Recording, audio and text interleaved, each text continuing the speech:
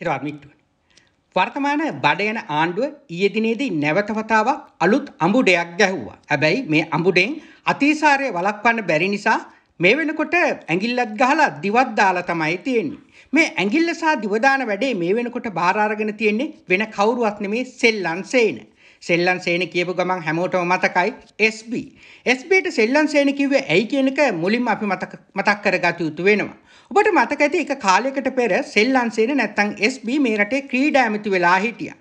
ක්‍රීඩා ඇමති වෙලා හිටපු කාලේ සුසන්තිකා දුවන කාලේ. ඔබට මතක ඇති ඒ කාලේ සුසන්තිකා රේස් එකක් දුවලා එනකොට SB එයාපෝට් එකට ගිහිල්ලා එයාපෝට් එකේදී සුසන්තිකාගේ ගෙනන් අරංගෙන බෑග් එකත් අතේ අරගෙන තමයි එන්නේ. ඉන් පස්සේ තමයි මේ රටේ ක්‍රීඩා ලෝලින් SBට සෙල්ලන් සේන කියන නම තිබ්බේ. ඊටත් එහා ගිය කතාව තමයි SB ඒ දවස්වල අමාත්‍යාංශේ නැතු වුණාම සුසන්තිකා එතනට ගියාම සුසන්තිකාගේ සුසන්තිකා ගිහිල්ලා ඉඳගන්නේ SBගේ පුටුවේ. SBගේ පුටුවේ ඉඳගෙන තමයි සුසන්තිකා SBගේ ගෝලයන්ට අණ දුන්නේ. ඉන් පස්සේ කාලෙක එළි වුණා සුසන්තිකා ප්‍රසිද්ධිය ඇවිල්ලා කිව්වා SB සුසන්තිකාට බුදි එන්න කතා කරයි කියලා. ඔබට මතක ඇති ඒක විශාල ප්‍රශ්නයක් වෙලා මේ රටේ එක්තරා නාලිකාවක පැය ගානක ඇය සම්බන්ධයෙන් වැඩසටහනක් කරා ඇය ඇවිල්ලා නම නොකිය කිව්වා SB Tamanට බුදි එන්න කතා කරයි කියලා. ඉන් පස්සේ මේ සිද්ධිය පාර්ලිමේන්තුව ඇදුනට පස්සේ ඔබට මතක ඇති SB ප්‍රසිද්ධිය කිව්වා සුසන්තිකා දැක්කට පස්සේ පිරිමියෙක් වගේ තමයි හැඟීමක් දැනෙන්නේ සුසන්තිකා ගෑණියෙක් නෙමෙයි තමන් කැමති ගෑනුන්ටයි කියලා. ඉන් පස්සේ තමයි සෙල් සෙල්ලන් සේන බයිසෙක්ෂුවල් එහෙම නැත්නම් ගෑනුන්ට සහ පිරිමින්ට දෙගොල්ලන්ටම කොටන જાතිය මිනිහෙක් කියලා එළියට ආවේ. කොහොම එතත් සෙල්ලන් සේනක නැත්නම් SB ගේ නම හැදුනේ ඔන්න ඔය විදිහට. SB ඉතිහාසය පුරාම මොකදීලා හරි ගොඩ එන જાතියේ පොරක්. SB ගේ මුල්ම ඉතිහාසය ගියාට පස්සේ SB ගේ ඉතිහාසය හොඳටම දන්න කට්ටිය ඉන්නේ වික්ටර් අයිවන් ගාව නැත්නම් රාවේ. කාලයකට උඩදී SB චන්ද්‍රිකාගේ රෙද්ද එල්ලිලා දේශපාලනයට එනකොට SB පළවෙනි ඡන්දේ කාලේ ඔය රාවේ පත්‍රයට නිරන්තරයෙන්ම රිංගුවා. ගිහිල්ලා SB මුල්ම තමන්ගෙන ආටිකල් එක දාලා පත්‍රේ යයිද නොයයිද කියන බයක් තිබ්බා. ඒ වෙලාවේ එදත් SBලා අඳුරන අදත් රාවේ ඉන්න සහිටපය කියන කතාවක් තමයි SB ඒ දවස්වල පත්‍රයේ ආටිකල් එක print එකට ඇරියට පස්සේ print උනාද නැද්ද කියන එක ෂුවර් කරගන්නකම් එතන තියෙන බූරුවදක් දාලා ඒක ඇලවෙලා ඉන්නවයි කියලා පත්‍රයේ පළවෙනි කොපිය බලන්න. කොටිම ඒ කාලේ SB කොච්චර පෝසතෙක් කියනවනම් වික්ටර් අයිවන්ට ගෙනාපු අරක්කු කාල ගහලලු SB ඒ කාලේ ඇඳේ බුදිය ගත්තේ.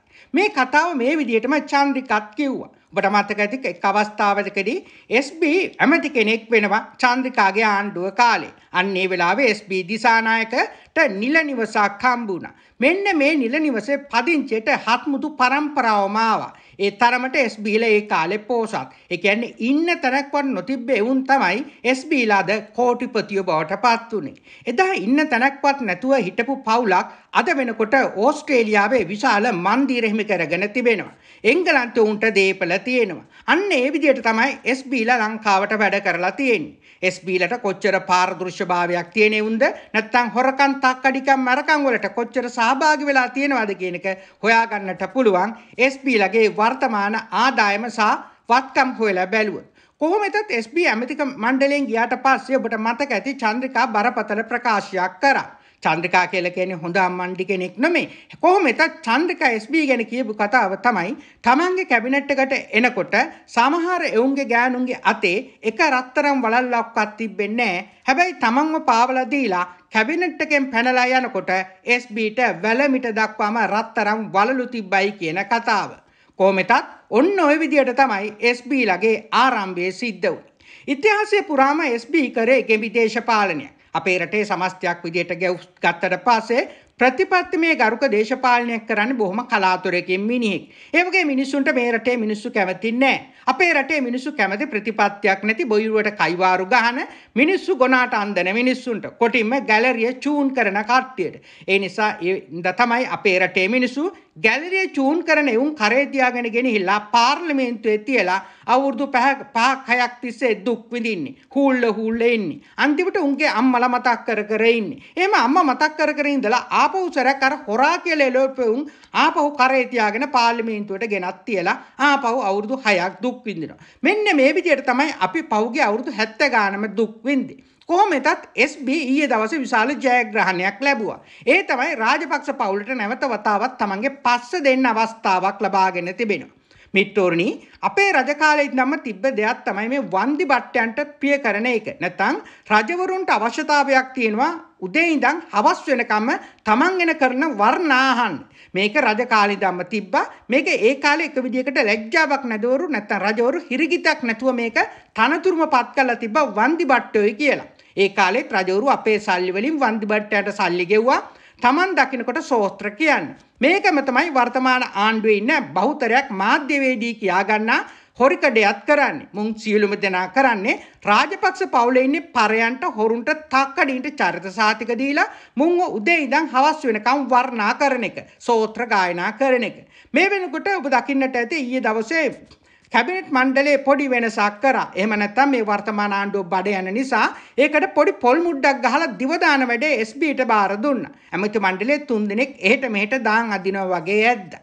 මේ වෙලාවේ ආණ්ඩුව පෙන්වන්නට හදන්නේ මේ මේ බරපතල ප්‍රශ්නයට ආණ්ඩුව මුහුණ දුන්නේ වෙන කිසිම හේතුවක් උඩ නෙමෙයි අපේ සූකර වංශ සහ බුම්මන්පිලක නැත්නම් ගොම්මන්පිලගේ වරද්දෙන් කියලා. ගොම්මන්පිල සහ ශේෂම මේ සූකර වංශයට පළ දුන්නේ කලකා. මොකද සූකර වංශ සහ ගොම්මන්පිල තමයි රාජපක්ෂලා බලයට ගෙන්න අර මහින්ද සුළුක කියන කාලකන්ණි වැඩසටහන පටන් ගත්තේ. එහෙම කරලා ඒකාධිපතියෝ බිහි කරන්න අවශ්‍ය කරන සියලුම වපසරිය හැදුවා. විශේෂයෙන්ම ඔබ තේරුම් ගත යුතු වැදගත්ම කාරණය තමයි මේ ඉතිහාසයේ පුරාම ජනතා විමුක්ති පෙරමුණ දාලා ගිහිල්ලා වෙන වෙන තැන්වල නැවතිච්ච හැම එකෙක්ම අවසානයේදී බිහි දරුණු ඒකාධිපතියෝ කාලකන්ණි පාදඩිය බවට පත් වෙලා තියෙනවා. ඔය KVP එකෙන් අයින් වෙච්ච හැම එකෙක්ගේම ඉතිහාසය හොයලා බැලුවොත් එහෙම සහ වර්තමානයේ හොයලා බැලුවොත් එහෙම ඔබට ඒක තේරුම් ගන්නට පුළුවන්. මොකද බහුතරයක් දෙනා ජනතා විමුක්ති පෙරමුණෙන් අයින් වෙලා යන විශේෂම ඔය විමල්ල වගේ උන් ඉතිහාසයේ පුරාම මේවෙන් ගැලවිලා ගියේ උන්ගේ විනය ප්‍රශ්නයක් නිසා.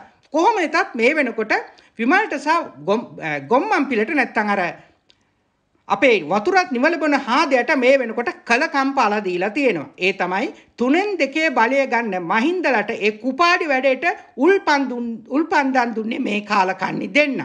කොහොමෙතත් මේ ගැටලුව හැදෙන්න හේතුව තමයි SB පාර්ලිමේන්තුවට ගෙනීම සහ SB ගේන්න හේතුව තමයි සූකර වංශයට ගහන්න තියෙන උවමනාව. මොකද පාර්ලිමේන්තුවට දැන් අවශ්‍යයි කොන්දේසි විරහිතව සූකර වංශ වගේම වලත්ත වාචාල කටක් තියෙන එකෙක් සූකර වංශ එක්ක හැප්පෙන්න. සහ රාජපක්ෂ පවුලේ අසූචි සුවඳයි කියන ප්‍රසිද්ධිය රදි ගලවන්න පුළුවන් ලැජ්ජාවක් නැති හිඟන්නේ. මෙන්න මේ හිඟන වැඩේ හොඳටම දැන් මේ මොහොතේ පාර්ලිමේන්තුවේ කරන්න පුළුවන් එක තමයි SB.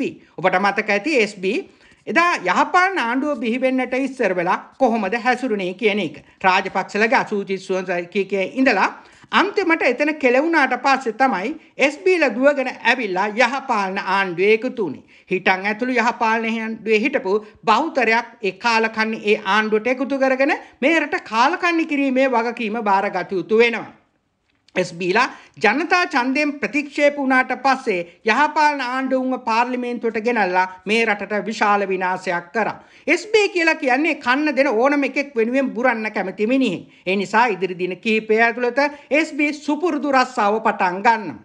SB කියන්නේ ඉතිහාසයේ පුරාම හොරකම් කරපු, මැරකම් කරපු, තක්කඩිකම් කරපු, කුපාඩිකම් කරපු එකෙක්. ඒ විතරක් නෙමේ SBගේ කොල්ලත් එහෙමයි. SBගේ හත්මුතු පරම්පරාවත් එහෙමයි. SBගේ පුතා නම්බර් 1 මදාවිය කියන එක හැමෝම දන්නවා. ඔබට මතක ඇති සලාකකාරයාගේ අඹුව පරණ අඹුවගේ සමග මේ SB එක කාලයක් කැසිනෝ ගැහුවා. ඔබට මතක ඇති කැසිනෝ පනස පාර්ලිමේන්තුවේ සාකච්ඡා කරපු වෙලාවේ SB පාර්ලිමේන්තුවට ඇවිල්ලා බෝල දෙක මෙරික මෙරික ප්‍රසිද්ධිය කිව්වා කැසිනෝ කියන්නේ නරක දෙයක් නෙමෙයි මමත් ගහලා තියෙනවයි කියලා. හැබැයි SB කැසිනෝ ගැහුවේ උගේ සල්ලි වලින් නෙමෙයි. ඒක ගැහුවේ අර සලාකාකාරයාගේ පරණ හිටපු අඹුවත් එක්ක. ඒ අඹුව තමයි පහුගිය කාලේ පැණි හුලා එක්ක පෙම් කෙලියේ. කොහොම වෙතත් මේ අඹුව මේ වෙනකොට ඉන්නේ වෙනත් කෙනෙක් එක්ක. ඒක වෙන ප්‍රශ්නයක්. හැබැයි SBලා මේ පාර්ලිමේන්තුවේ මේ තනතුරට ගෙනල්ලා ඇමතිකම බාර දුන්නේ බොහොම පැහැදිලිව මැදමුලනේ කුප අර වල්ලගව චරිතය ඇඩ් කරන්න එම නැත්තම් මැදමුලනට වෙලා මැදමුලනට එරෙහි වෙන සියලුම දෙනාට බුරන්. මේ අතිසාර ආණ්ඩුවේ ගහන බඩයන ආණ්ඩුවට අඹුට ගහපු වෙලාවේ දිවදාන වැඩේ මේ SB බාරගත්තා වගේම මේ රට සුද්ධ කරන වැඩේ හෙට ඉඳලා SBගේ පවුල පටන් ගන්නවා. කොහොමෙතත් SB සාර්ථක වෙන්න බලපාපු ප්‍රධානම කාරණය තමයි රාජපක්ෂ පවුලේ ඉන්නේ 10% කිට්ටුවෙම ආශ්‍රය කිරීම. 10% ඒ කියන්නේ බැසිල් කියලා කියන්නේ මැද වයසේ කලටි ගානු පෙන්වන්නම බැරි පාදඩේ. ඒ නිසා බැසිල්ට ගෑණි දොයිලා ගොඩ ගිය ලැයිස්තු අතරට මේ වෙනකොට බොහොම පැහැදිලිවම මේ SB එම නැත්තම් සූකර වංශ එලවලා දාලා ඒ තනතුර ගත්තු හාදයා පත් වෙනවා. ඒ නිසා මින් ඉදිරියට බැසිල්ට ගෑනු දීලා ගොඩ ගිය ලැයිස්තුවේ ඇමතුරු අතරට බොහොම පැහැදිලිව සෙල්ලම් සේනය එකතු වෙනවා. මේක මහක්කේද වාචකයක්. මොකද ඉතිහාසයේ සිද්ධ වෙච්ච දෙයක්. ඒක ඒ ආකාරයෙන්ම නැවතවතාවක් සිද්ධ වෙනවා නම් ඒක පළමුව විකඩමක් දෙවනුව ඛේද වාචකයක් කියලා තමයි අපි අහලා තියෙන්නේ. ඒ නිසා මේ කාලකන්ණි තත්ත්වයේ තේරුම් අරගෙන මේක වෙනස් කරන්න පුළුවන්. පුද්ගල වෙනසක් නෙමෙයි ප්‍රතිපත්ති මේ වෙනසක් කළ හැකි සමාජ දේශපාලන කණ්ඩායමක් සමග අපි පෙරට. මිත්‍රෝනි අර්ගන්තු ජයග්‍රහණ නැමැති ඔබට සීපත් කරමින් මා ඔබෙන් සමුගන් ඔබ සමට ජය